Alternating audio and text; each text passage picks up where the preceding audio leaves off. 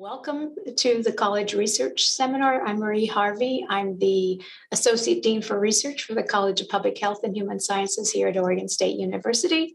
And I'm delighted that you're joining this seminar.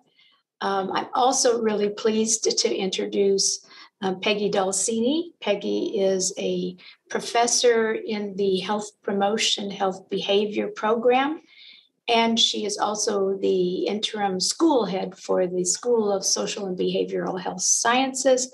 And she's graciously agreed to introduce our speaker and to moderate the session. So I think you're all in for a treat. So I'm going to pass the baton to you, Peggy. Thanks, Marie. So, welcome everyone. And just to note that we are doing this all via Zoom today, a very familiar thing for many of us. Um, for security reasons, we're using a webinar, so microphones are muted. Uh, to ask a question, just use the Q&A feature, and we will moderate and read questions out uh, at the end of the presentation. And I'm delighted to introduce Professor Marguerita Lightfoot, our speaker today. Uh, Marguerita is the Associate Dean for Research at OHSU PSU School of Public Health and the Naito Meganoti Endowed Professor in Health Equity. Immediately prior to coming to Oregon, she served as professor and director of several federally funded centers at the University of California, San Francisco, including the Center for AIDS Prevention Studies. Marguerita has long been a recognized leader in research addressing health and well being of youth, and her work has a strong emphasis on the development of interventions to reduce HIV/AIDS within populations that are disproportionately affected. Um, her work has been consistently funded by NIH and other federal and private agencies, and her publication is record is too extensive to um, go into detail here. Um, today, she'll share some of her work on youth participatory action research, and please welcome Marguerita Lightfoot. Thanks so much, Peggy. Uh, appreciate that lovely introduction. So, I guess first up, let me share my screen. All right. Whoops. You know, I need to share it from the beginning.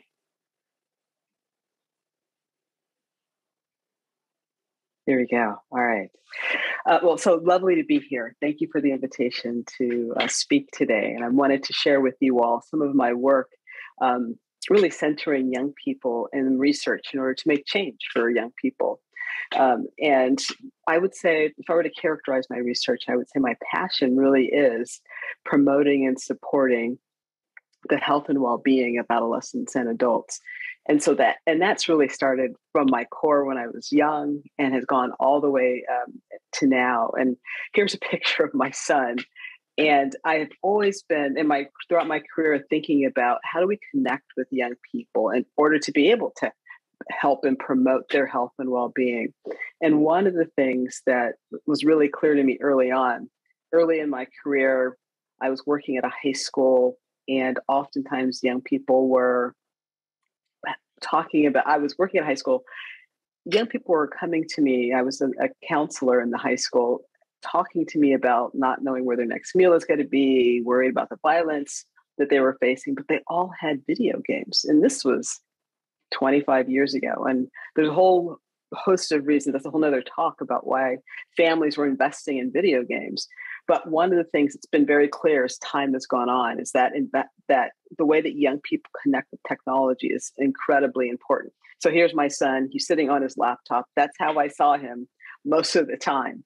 And so the other thing I've been thinking a lot about is how do we engage young people using the mediums of communication that they use and so I've been applying that idea to a number of issues that have that we know are important for young people. So the first being having young people test for HIV. So we know that lots of young people are having sex, whether we like to believe it or not. Uh, but what's more disturbing is that for those young people who are having sex, they are oftentimes not using condoms, not using protection against HIV and STIs, and they're not getting tested so that we can't really identify them and get them connected into services and prevention as we would like. So, as this slide shows, when you talk to young people who are sexually active, only 22% of them have been tested for HIV. We look at talk to the young people who are saying that they're sexually active and tell us they haven't used a condom the last time they had sex. 30% of those young people have not been tested for HIV. And there's a lot of reasons why young people aren't testing for HIV. You can see on this slide a host of reasons going from um, lack of services, lack of access, and as as Black Panther here would allude to, just feeling like they can't be sick, that nothing bad is going to happen to them. So there's a number of things that we have to overcome in order to get young people to come in to see us. And so we developed this intervention um, that was intended to really leverage young people and their social networks, their connections to technology to get them to come in to get screened for HIV and STIs. So, in this intervention, we asked young people at an adolescent medicine clinic to text message five of their friends that they thought were sexually active to have them come into the clinic. We told them the goal of this is the goal of your message is to get your friend to come in. And we didn't really tell them what to say. I think it, from my perspective, they were going to be much more persuasive. To, they're going to know what to say to their friends, be much more persuasive than anything that I could um, come up with in terms of a message, even if I had like a youth advisory board or something. So we gave young people the parameters. We told them, you know, don't piss your friends off, don't accuse them of anything, but you know what give them a message that you think is going to help them to and persuade them to come in and get screened themselves because if they're sexually active chances are that they need to be coming into the clinic and so we conducted this study as an interrupted time series design. I did this in collaboration with the Adults Medicine Clinic in San Francisco.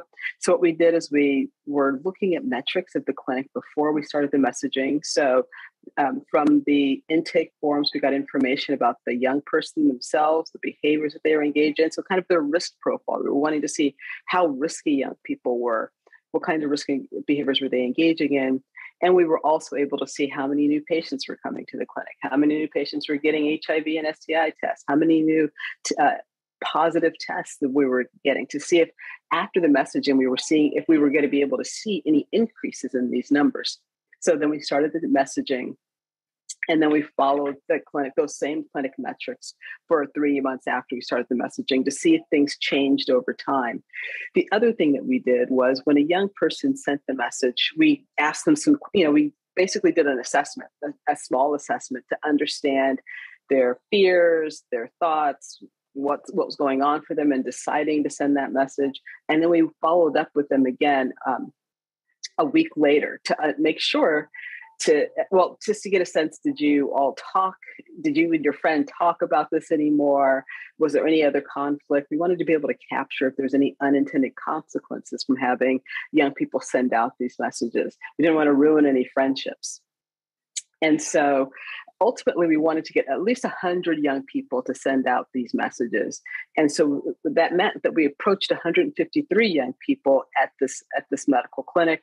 Most of them said that they would do it. We had about almost 20% of them said they wouldn't do it. And usually that was because they said they just didn't have time, that they didn't want to uh, stay after their doctor's appointment to then do this messaging. And then we had about 16% who were ineligible. And that ineligibility was really a reflection of they didn't have their phone with them or they didn't have enough friends in their phones that they could message. So, of those who consented, as you can see, most young people um, sent the message, five messages like we asked. What was interesting is almost 20% of young people sent more messages than we asked.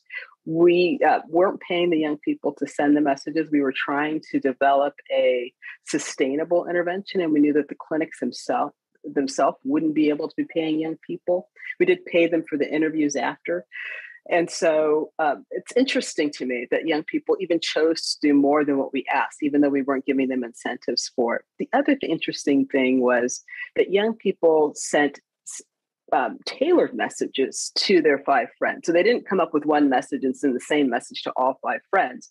They were sending messages specifically to their friends um, that they that were really tailored. And then, as you can see here, most of the young people we were able to find them later and do that post test and so to give you, so we did it. So we had all of the uh, text messages that the young people sent. So we wanted to do a thematic analysis to understand um, what do young people think is persuasive? Given this opportunity, what kinds of things did they decide to do? What kinds of messages did they decide to send? And so there were basically four different kinds of messages. The first category is the largest. Most of the messages, unsurprisingly, were about a call to action, asking their friend to do something. Sometimes the call of action was active. So it was like, please, you know, you need to do this, or, um, whoops, why am I? Okay, there we go. Here's a so this is a, a, one of the text messages. So it was really telling their friend, "You need to get checked out. You need to come to the clinic." It was a, a really a, an active uh, call to action. Some of the call to action messages were more passive. So they were just saying, telling someone, "You need, hey, there's this clinic out here. You could find out your status if you go into this clinic." So it was still telling their friend to do something without that um, more active uh, messaging. The second kind of message that young people sent, unsurprisingly, were personalized messages, meaning they were saying something specifically to their friend and uh, that was specific to their friend's situation. And so, like in this example, it was like, make sure you get checked out, right? So they were saying something that they thought their friend uh, would be uh, salient to their friend. The third kind of um, messages were clinic messages that just provided clinic information so they were they told their friend about where the where the name of the clinic, where it was located, the services the clinic uh, provided. So they provided some information to that. And then the last one was because the young people were in the clinic at the time that they sent the message.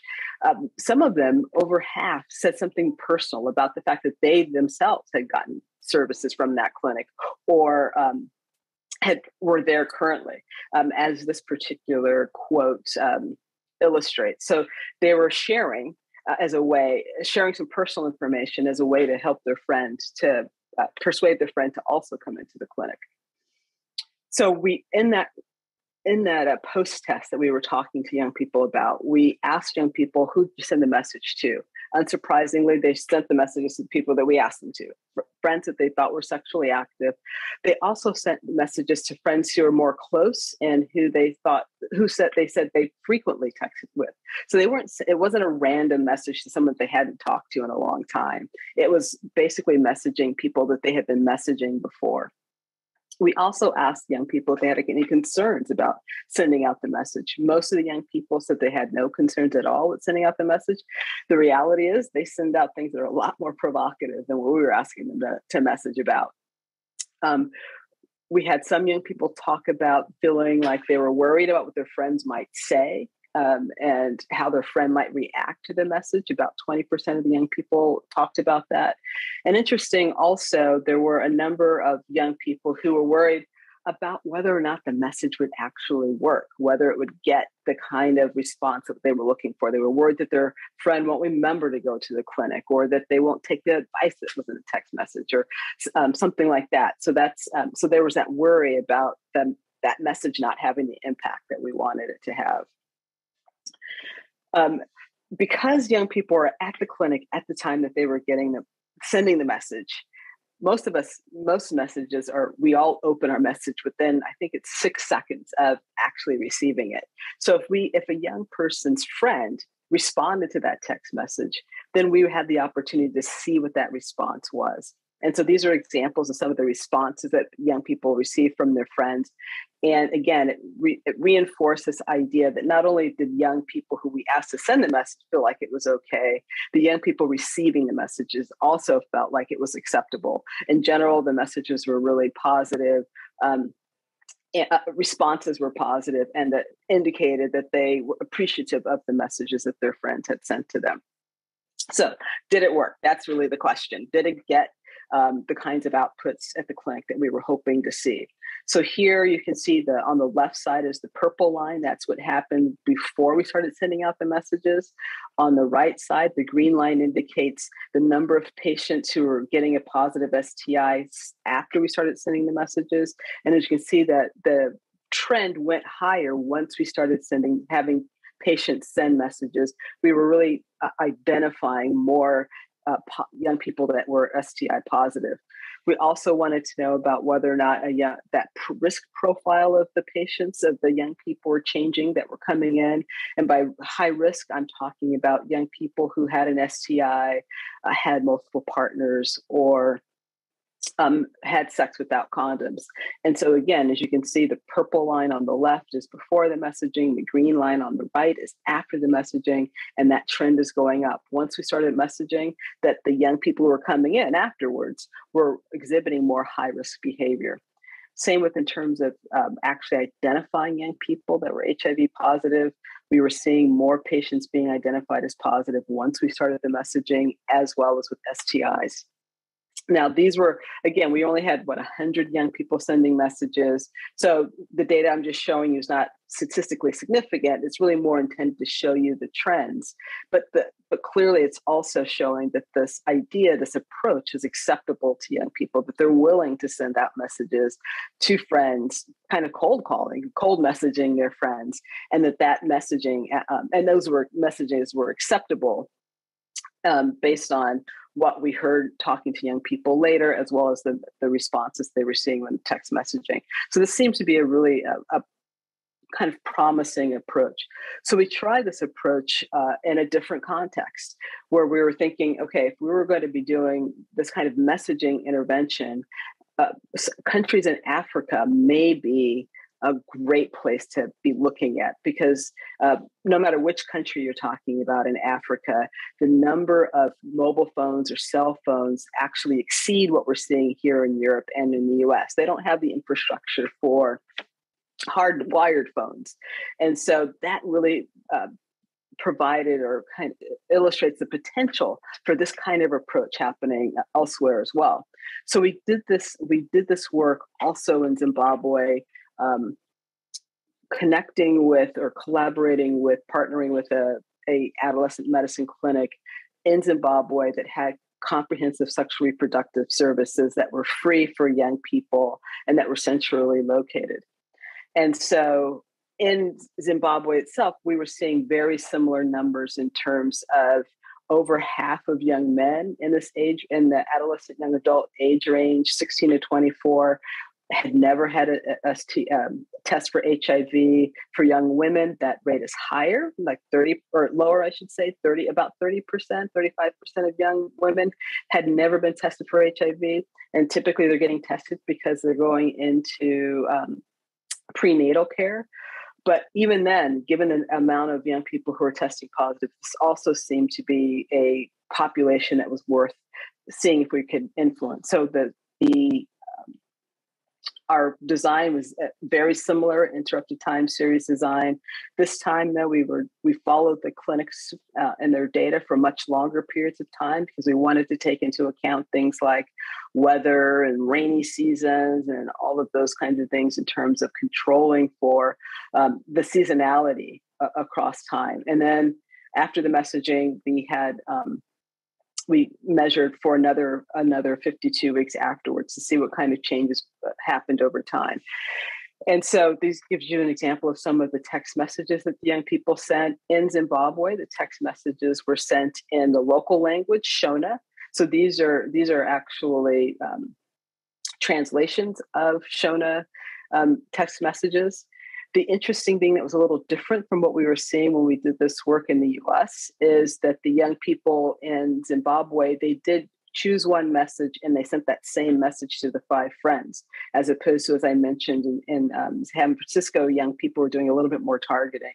The other thing was in San Francisco, most of the young people were self, sent their message. All of the young people actually sent their messages using SMS, whereas in, in Zimbabwe, uh, most of the messages were being sent via WhatsApp. Some young people used uh, Facebook Messenger, and then a fewer, uh, much fewer used SMS. So in each case, we let the young people decide how they were going to be sending, what platform they were going to use. So that just gives you a sense of what platform they chose to use. So again, did we see anything change over time. So when we look here at the number of new patients that were testing for HIV at this adolescent medicine clinic, before the messaging on the left is that purple line. You can see that that was going down over time. The number of patients testing for HIV went down. Once we started doing the messaging, that red line reflects after the messaging started. There was a jump in the number of young people getting tested, and that number kept going up. So it didn't have that downward slope that we were seeing before the messaging.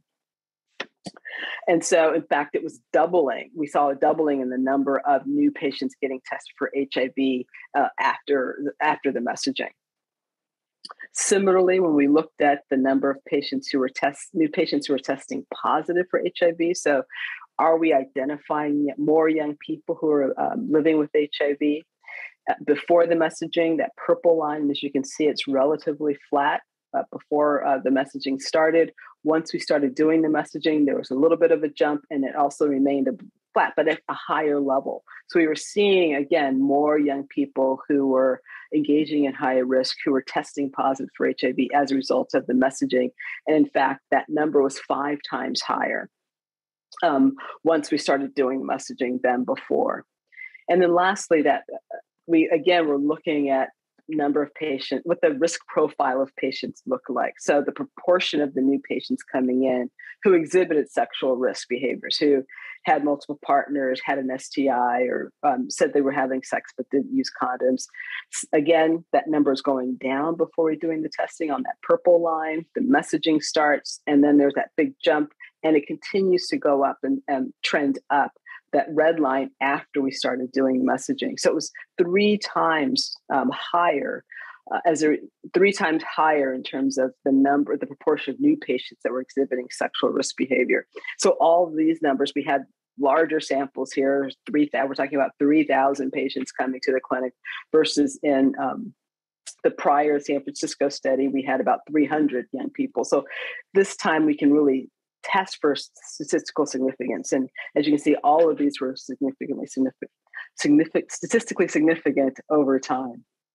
So really helping young people uh, and leveraging and engaging young people as not only messengers but the interventionists seem to be a really um, important approach for engaging young people.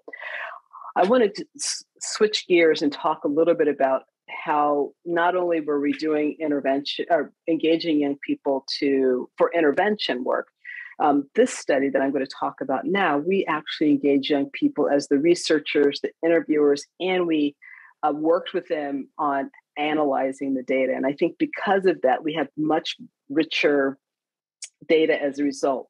So this particular study was looking at the intersection of homelessness, criminalization, and violence for young people experiencing homelessness. Here on this picture, you see as our research team, all of the young people on our research team had either lived experience with homelessness themselves or um, had worked with young people who had experiencing homelessness through a peer, peer models. So we had some UC Berkeley students, as well as young people who are graduating from the leadership program in our with our community collaborator, Larkin Street Youth Center in San Francisco. And so um, these young people were not, you know, had not had a lot of training, uh, academic training. However, we were able to engage them in helping us to collect data and um, and analyze and interpret our data. So in this particular study, we did four different things. We young people went out on this to the streets of San Francisco and talked to other young people who were experiencing homelessness, and we were trying to understand what were the young people's daily existence like. Where were they feeling safe? Where were they feeling unsafe? Um, where were they interacting with police? Where were they uh, interact when were they having being victims of violence? So when were they engage, encountering violence? And so young people toured us around. They took we took a the they took the interviewer the youth interviewer on a walking tour of their neighborhood and talked about where they felt safe, where they felt unsafe, where they were encountering violence. As they were doing those neighborhood tours, they also took pictures of places that they thought that they would indicate really illustrated what they were saying and we were able to because those pictures were geolocated we would have um, we could map out the geolocation of all of these important safe and unsafe spaces places where young people could get services places um, where they were encountering violence. We were able to map that out in the city.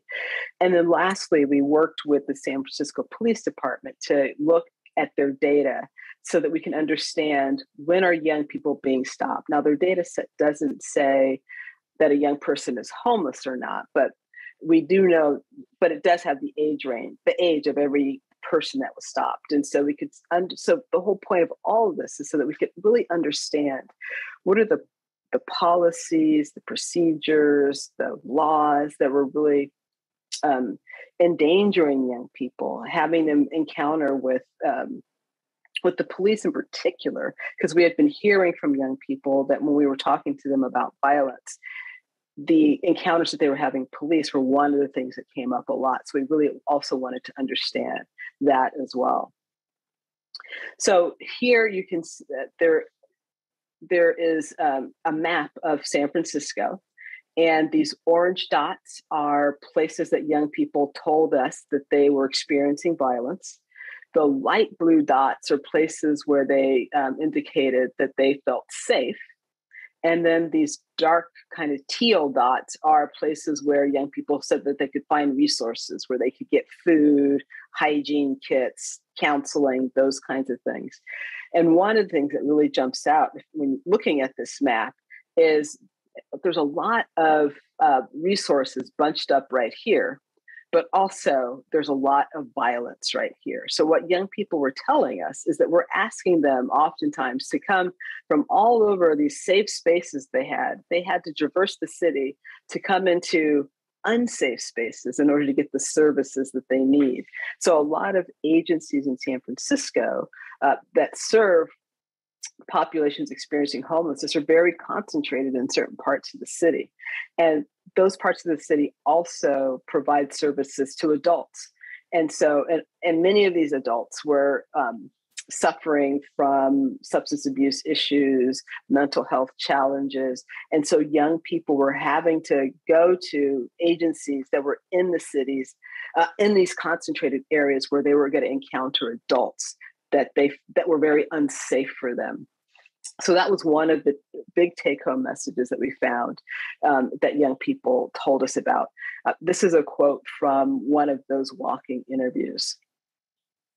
Another thing that we found in doing this work uh, and by the way every picture that you'll see here are pictures that young people took when we were doing the walking interviews so, one of the things that young people told us is that oftentimes they don't have access to just basic needs. So, you can see in this picture, the, the water faucet's been locked, so they can't have access to just water, right? So, things like food, uh, hygiene, bathrooms, everywhere they go, oftentimes they're being blocked from having access to these things. And so it was one of the issues that young people talked a lot about when um, being homeless that they had to encounter and overcome. Another thing young people told us a lot about is they felt stigmatized um, for, for being homeless. And so this young person, this is all of their possessions, and they were very intentional about ensuring that they didn't carry a lot of stuff around because if they carried a lot of stuff around or they looked dirty they looked unkept, then um, they had even less access to what they needed. Businesses wouldn't let them come into their stores. Um, they would get harassed at places. Um, they would be more likely to be stopped by a cop if they're slaying on the sidewalk, sitting on the sidewalk. So they they did a lot of they had to do a lot in order to have this um, outward appearance that would reduce the amount of stigmatization they would experience so this is an, another big piece of kind of the emotional violence that young people are experiencing as a result of just trying to survive this uh, also young people were not only stigmatized but oftentimes they were criminalized for being um, for being homeless so this uh, Buena Vista Park is one area of Golden Gate Park. So if anyone's ever been to San Francisco, we have a there's a huge urban park in San Francisco called Golden Gate Park. This is one area, and young people would often, and it's a park that you would typically, like any other park, lots of families, people roller skating, people laying around, having picnics, hanging out, sleeping. But for young people, um, it became uh, they weren't allowed to do many of those things. So this, so this um, sign that's up here tells you about the park, but then also the sign is saying you can't loiter. And as this young person aptly put it, like, what are you supposed to do at a park but loiter. And so these young people, if they, and this is a way for them, uh, for the city to keep young people from hanging out too long, laying on the grass. And young people would talk about if they were doing any of those things, sitting in a place for a long period of time, anything that you and I would do in a park, that would be reason for young people who are experiencing homelessness to be harassed, told to move on. Um, and so they weren't able to just experience the kinds of things that you and I would experience just being at a park because of the laws that we have in place around how long you can sit on a sidewalk, you can't lay on a bench, all these things that kept uh, young people from uh, kept young people feeling criminalized.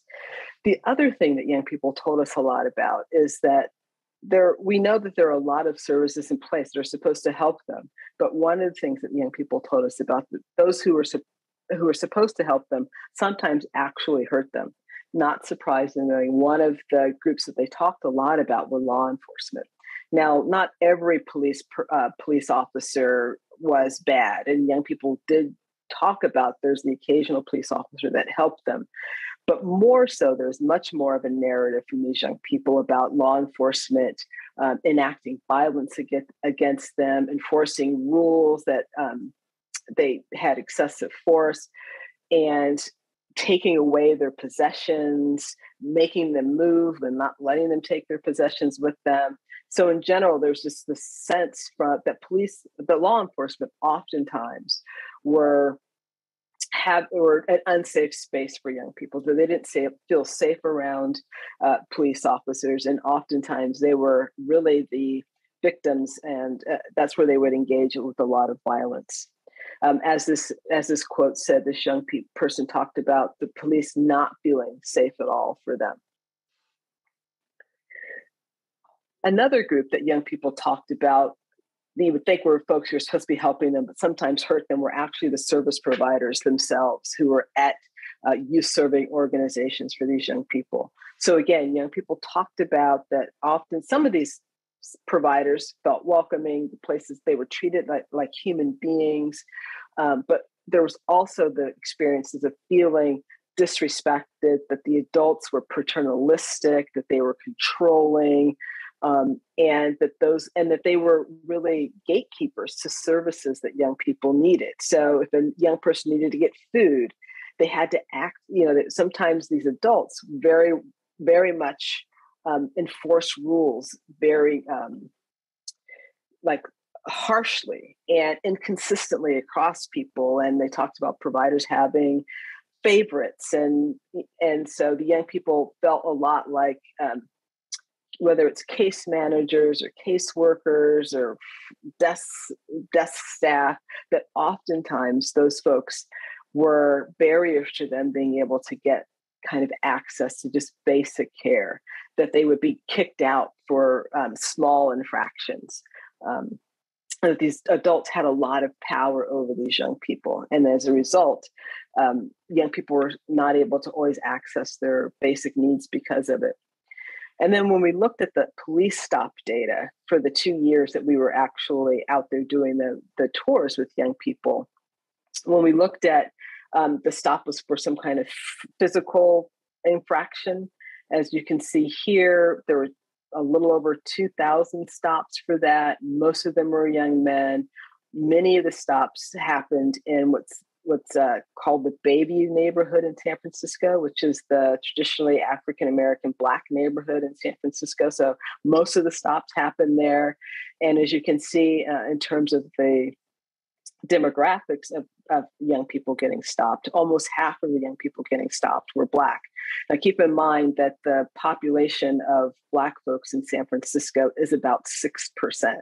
So, and for for Hispanic, Latinx folks, uh, it's about 23%. And so you can see there's definitely a disproportionate um, number of young people of color being stopped. When we looked at property crimes, um, again, kind of the same pattern, mostly Black young people happening in the Black neighborhoods. The Tenderloin is another area in San Francisco that's predominantly African American and Latinx.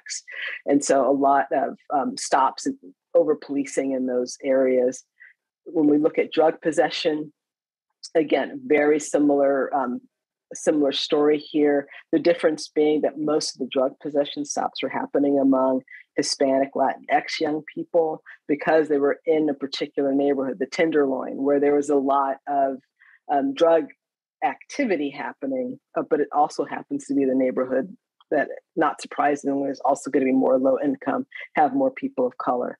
And then we look at um, crimes that are homelessness related, again, more young people of color being stopped. The one um, interesting difference here is that you'll see more young women are being stopped for this particular crime. And that's because um, this variable includes uh, sex work as, as a, a crime against people who are on the streets trying to survive. And so more young people, female young people, are being stopped for, for sex work.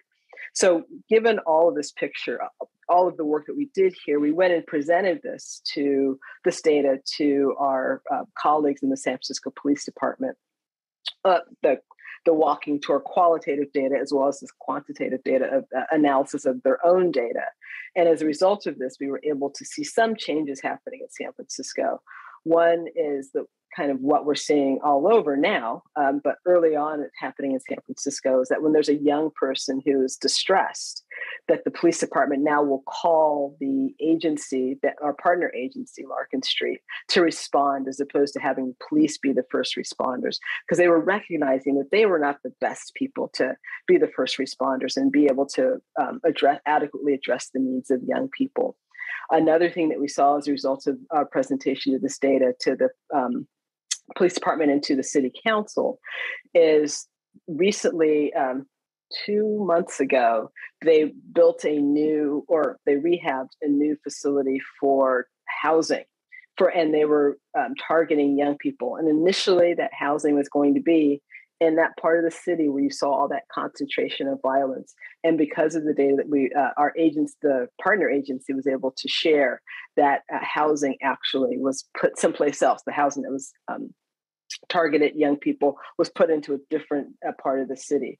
So again, we were really able to harness the strengths of young people to make changes in the city that really uh, help young people so I will tell you about one last study that I'm currently working on with collaborators um, in San Francisco at UCSF and also with the uh, community-based agency called MyPath.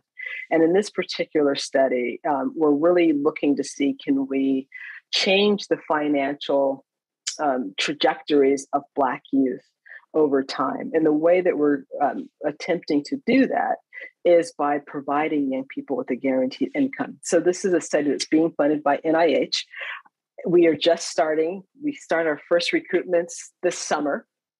Um, but I thought I would share just kind of what we're doing and how we're engaging young people in this. So, what we're uh, will be providing to young people is a cash transfer. They're going to get a guaranteed income of $500 a month for a year, and they don't have to do anything for it they're it's guaranteed. They're not they don't have to be in any kind of program. They don't have to look for work or all the kinds of other things and stipulations that we typically put on uh, programs that are intended to help lift folks out of poverty.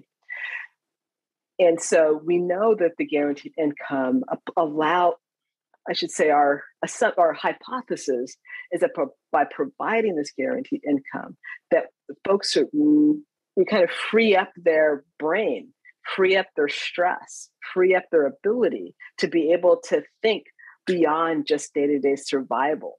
So they can then now have more uh, freedom and flexibility to think about what the future might hold for them, what kinds of investments they might want to make in their future, to go to class, whatever that might be for that young person, that without that daily stress of just surviving, that they'll be now, they'll have space and capacity and bandwidth to be able to do that.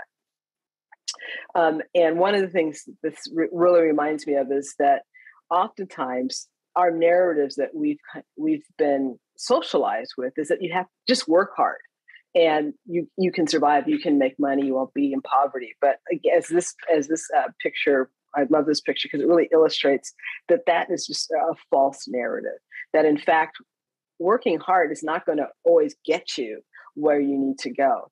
And so the premise of uh, the, these guaranteed income programs they've been there have been a number of these programs, uh, pilot programs that have been done with adults, and so the for adults, what we see is that they have a reduction in anxiety and depression.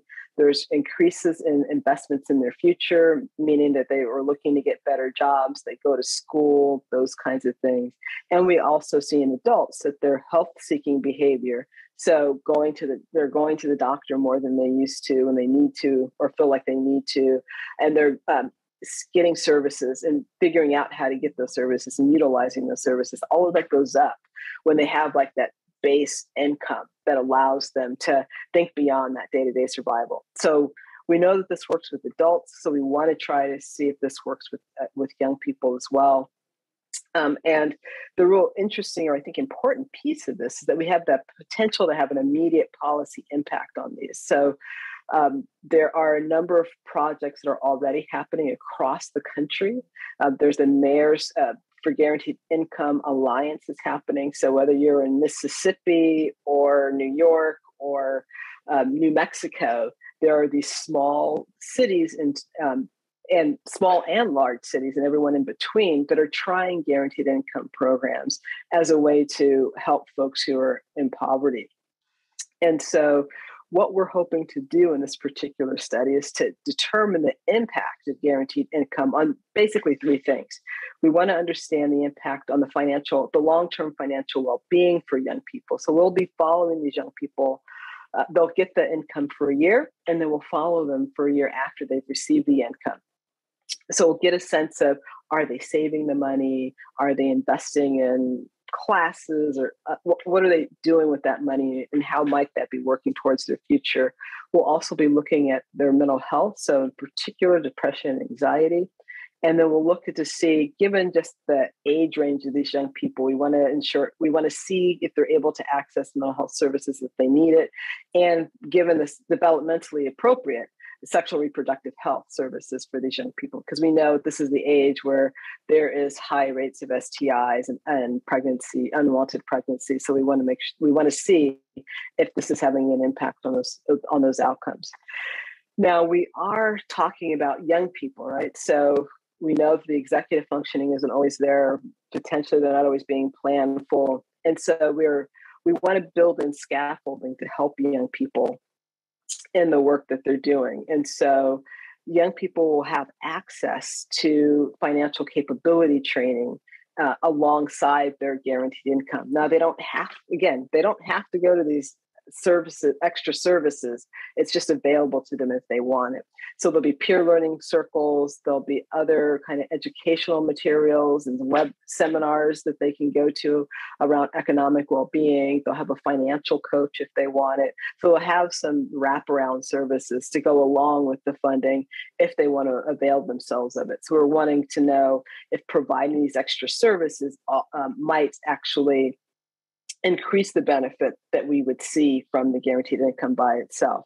So we're doing a, a randomized controlled crossover design in this study where 300 young people will get uh, will be randomized to either receive that guaranteed income right away eh, or they'll be delayed in receiving their guaranteed income so they're not going to get the guaranteed income right away as i mentioned everyone will have access to those opt-in financial capability training and services throughout the study and then after a year, the young people who got the, the guaranteed income will stop receiving it, and the young people who had not been receiving it will start receiving it. So we'll be able to, we'll have a year of control to understand like how young people are changing over time. So we have an actual control group. And then when we do that crossover, we'll be able to see what happens to young people once you stop giving them the income. Um, and we'll be following them for that year after that. So we'll be doing quantitative surveys every three months. And um, we will be doing qualitative surveys at baseline at 12 months and 24 months to get more depth of information about what that experience is like for them, what they're doing, how their life is um, unfolding as a result of, of the income that they may be receiving. So, again, this is, we're just starting this. I hope to be able to share with you the outcomes of these in a couple of years. So, um, I guess if I were to say, if I'm going to end uh, this talk, the take home message is that as we're working with young people as I've been working with young people, recognizing that they're an important resource in improving health and that we really need to engage them. As you all think, whoever you're working with, uh, whatever population of folks it's your, the focus of your research, it's going to be key and important for you to engage that population uh, in, in, order to make the kind of changes and see the kind of outcomes you would like to see. So uh, I think my time is about up. Thank you for your attention, and I'm happy to answer any questions that folks might have.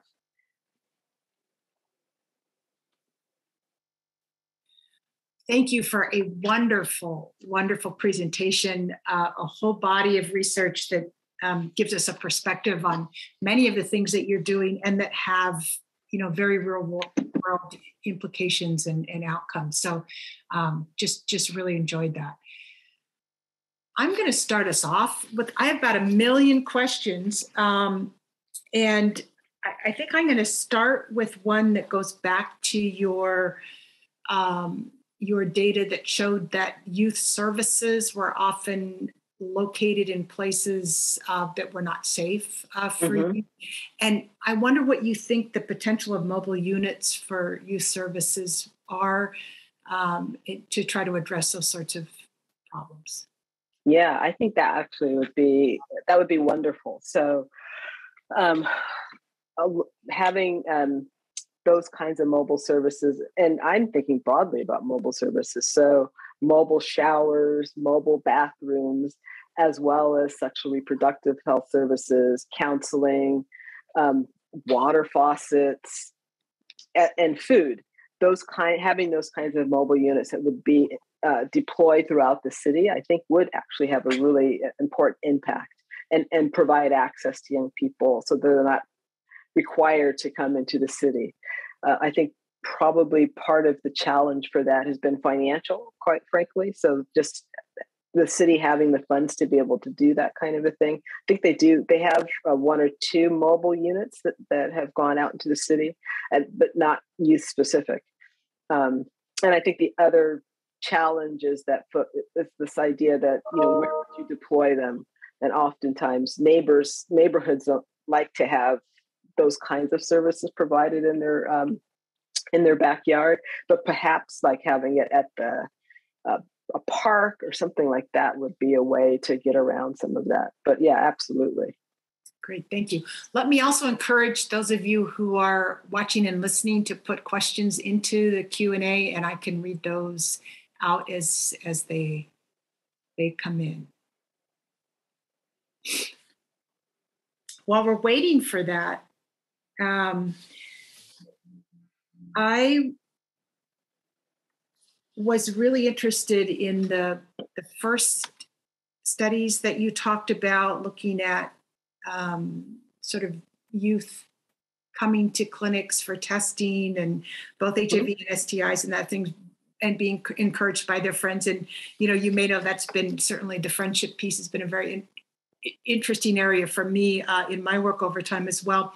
But more recently, our team has been looking at self testing, self HIV testing, as a really valuable tool, both among youth as well as um, uh, in other populations. And did you did you consider self testing in any of this work that you were doing? Was it part of any of that? And again, do you see what kind of potential do you see there with these uh, youth generated messages and encouraging self testing. Yeah. So for this particular study, we did not think about self testing primarily, I think, because it was one of the goals. Uh, the, the, genesis for this project really came from my working with the Adolescent Medicine Clinic. And one of the goals that they had were to bring more young people into the clinic. And so they um, felt like they weren't reaching the most risky young people. So a lot of the young people who were coming to the clinic were, you know, they had young people coming in to get tested for STIs, but they they just had a sense that there's probably more of that needed um, in the community. A lot of young people were coming in to get physicals for school, and so they were seeing a lot of low risk young people. So one of the the primary goals of this was to get more folks into the clinic. So that's the real that's the um, main reason why we weren't considering self testing. But I do think there's absolutely potential for self testing um, as a median for and leveraging social networks. So one of the studies that I didn't talk about here because it wasn't specific for youth. It was for um, I have we did do a study looking at um, black uh, LGBT. Well, actually, it was black gay men primarily, black and Latinx gay men, and so we would give yeah, these men uh, five test kits and say, give these out to your friends. And the idea was that when they were their friend would do this test, they would have this person that we helped to train who gave them the test available to them to answer questions, maybe even to offer support, and maybe even to go to the clinic, encourage the person to go to the clinic and go with them to the clinic um, if they tested positive. So this whole peer to peer thing that you were that you were alluding to, and we found that that actually was very successful. Um, every person who tested they got it they could give us the results anonymously and and do a short survey.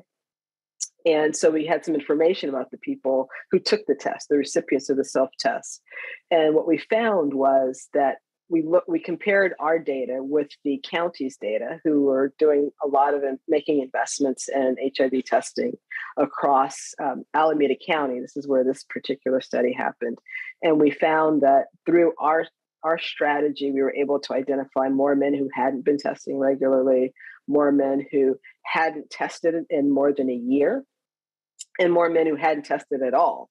And so we really were able to get into networks of, of folks that weren't connected to clinics who hadn't been um, coming in for testing. And so I think that really, and I think that same potential exists for young people that by using the social networks of young people and allowing them to give out test kits, that we might be able to access networks of um, young folks that we haven't been able to access through our typical regular means of getting young people tested. Great. Thank you so much. It's really helpful. And definitely the it feels like the potential of HIV self test kits has been elevated a little bit through um, COVID and the need for everybody to go sort of remote and not be in, you know, in the same place with folks all the time. But um, that's that's really interesting. I have a question uh, here that I'm going to read out to you. So, could you talk a little more about how you recruited the young people as researchers, interviewers, and data analysts in your study? Um, and if there's time, um, talk about how you were trained. And it's a wonderful. Yeah. Yeah. Thank you. Um, so most of the young people, so we were working with this community-based agency or youth service uh, serving organization that worked with young people experiencing homelessness. So they had a, a leadership program. So one of the things that they were doing in that agency was really looking to not only transition young people out of homelessness and into permanent supportive housing, but also provide them the scaffolding and the resources and supports needed to be, become independent and live on their own. So these young people had gone through training around um, resume building, job interviews, those kinds of things. And so we recruited some young people through from that program. So they were transitioning out of living on the streets and had been in some um, semi-permanent housing.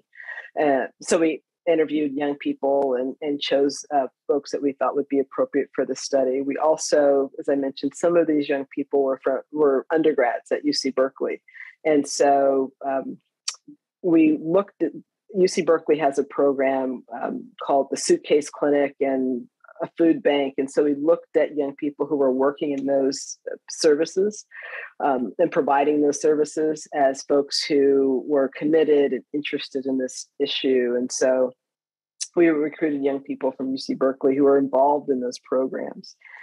And we um, took these young people and we basically gave them a 40 hour training. So it was a week long training that talked about kind of not only the study and the details of the study, but also um, what we know about services in the city. We talked about research and research ethics and IRB. Um, and so we had to think about ways in which they would be able to be engaged to do uh, i don't know if any of you have done that city training it's like not that exciting so we had to take that material and get it in a way that young people could access that that information so we made games and stuff um, quiz shows uh, in order to convey some of that information we talked about crisis crisis management with those young people Um, we had to do some work with them also around just managing their own lives because uh, for many of these young people, they were still um, not entirely stable. So we found we so we learned as well. We had to provide food for them um, as not only were we giving them a paycheck, we were also feeding them for during the trainings and all of that, so that folks had what they needed their basic uh, their own basic needs met in order for them to really fully participate. And so, and then we would do things dry runs and practices with positive constructive feedback they would give each other positive constructive feedback so we can test their their, their learning before we actually had them out on the street um, out on the street doing the recruitment and interviews and in terms of the um, of the analysis of the data we and you saw that one slide that had all these sticky notes. We basically had young people we taught them about kind of basics of thematic analysis. And so we asked them to write on sticky notes when they saw when they read through all the interviews where they saw something that they thought um, seemed like a pattern to them or really important and they put that sticky on the board and then we start grouping those into themes to try to figure to then be able to think about what were the the, the the beginning of i guess the thematic analysis that we did of the of the interviews thank you really really helpful um, i've got one other question and we have a half a minute. Okay. So um, I'll be succinct. It's not I'll like, try. It's not like the radio, so we won't replace you with an ad. But um, okay, so where do you think the next step in the resources research is for young people, such as researching something similar in Portland or another large city such as Chicago? Uh, the police and geospatial data seems so promising also. Yeah, it's my it's my hope really to be able to extend some of this work to Oregon, and so um, Portland, like many of the cities on the West Coast, are there is a large population of folks who are experiencing homelessness, and so again, this kind I think this kind of um, study would be helpful in thinking about and understanding what's happening for, in particular, young people who are experiencing homelessness in the city, and begin to then identify what we might be able to do to really support those young people as they're as we are trying to transition them out of homelessness. Things like a guaranteed income or something that we could absolutely be able to implement um, in a place like Portland and so looking to see what the opportunities might be for that um, and because uh, Portland will be a different kind of population, and so really being able to compare those populations, I think, would also be very important. So I think there's a, a lot of promise. It's more like I have to have the bandwidth and time, um, but also partnerships. And so um, I'm less than a year in Oregon, but really looking forward to building out this work. Great. Thank you. Again, thank you so much. Just a really, really interesting, informative talk. Thanks so much for having me.